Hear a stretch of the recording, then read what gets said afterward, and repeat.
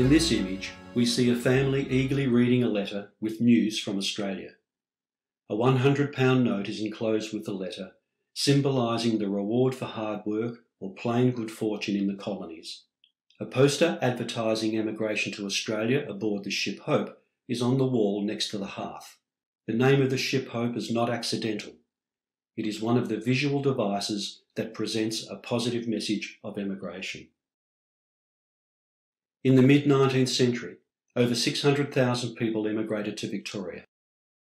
Interest in the colonies and the perceived opportunities offered there contrasted with their own circumstances, which were often entrenched in hardship and lack of hope.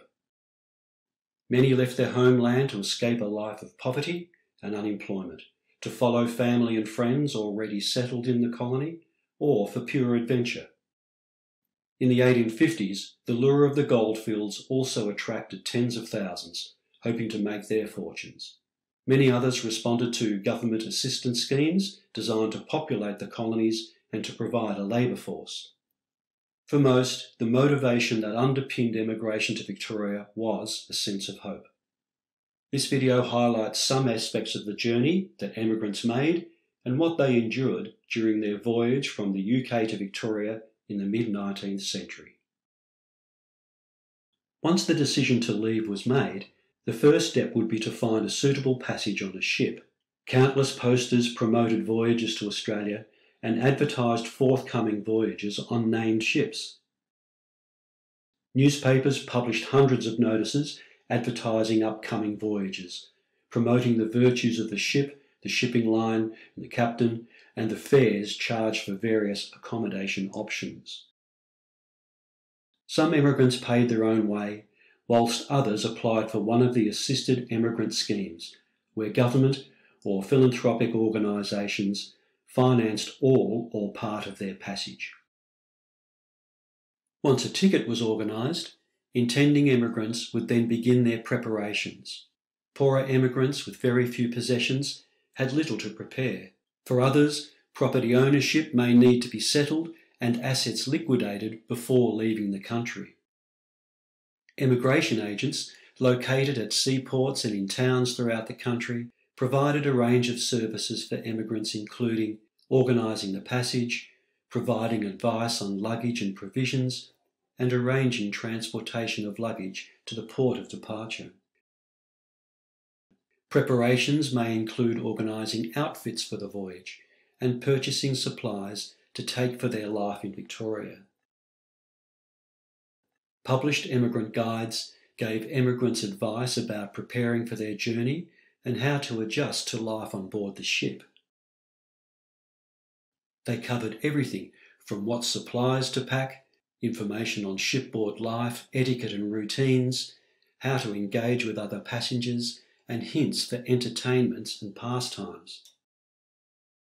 Once a passage was secured and preparations made, the emigrants would say goodbye to family and friends, perhaps having last conversations expressing their thoughts of anticipation, sadness, anxiety, and excitement. As their journey began, they would take a last look at their homes and homelands. They would make their way to the port of embarkation, travelling by coach, by train, or by foot, in all weathers, to one of the British ports.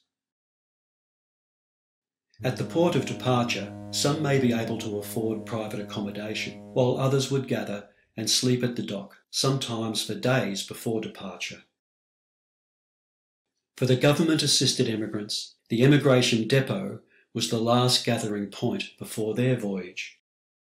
Those with means could make their way from their shore accommodation onto the ship at the last moment and make a grand entrance. However, before it was regulated, many passengers would rush on board in a first come, first served manner.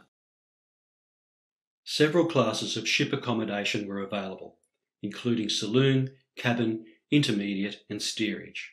Some ships carried a few passengers, while others carried hundreds. First class passengers had cabins on the poop deck, and intermediate cabins were situated at the rear of the main deck. Steerage passengers, on the other hand, spent a great deal of their passage below decks in cramped, noisy, damp conditions below the waterline. In the 19th century Victorian era, the class system was clearly defined and adhered to on board the ship as it was on land. Depending on local conditions, a ship may depart on time or be delayed for days or even weeks. Some ships would depart from the port out to open sea, while ships departing London would sail down the River Thames before reaching the ocean. Either way, emigrants would watch their homeland gradually disappear. Shipboard routine would begin and continue for the duration of the voyage.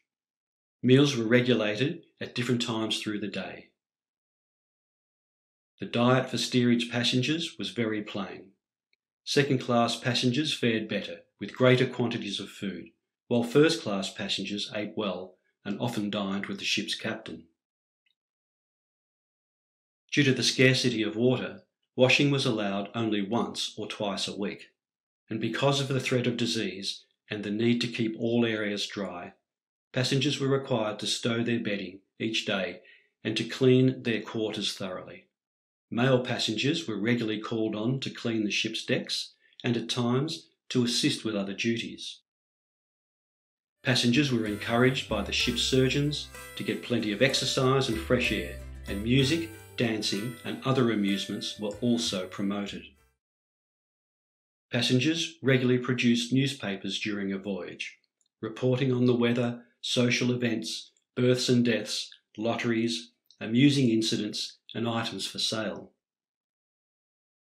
Voyages from the UK to Victoria in the mid 19th century could last up to three months or more. Ships sailed from west to east through the Southern Ocean and were mostly dependent on the strong winds encountered on the Great Circle route.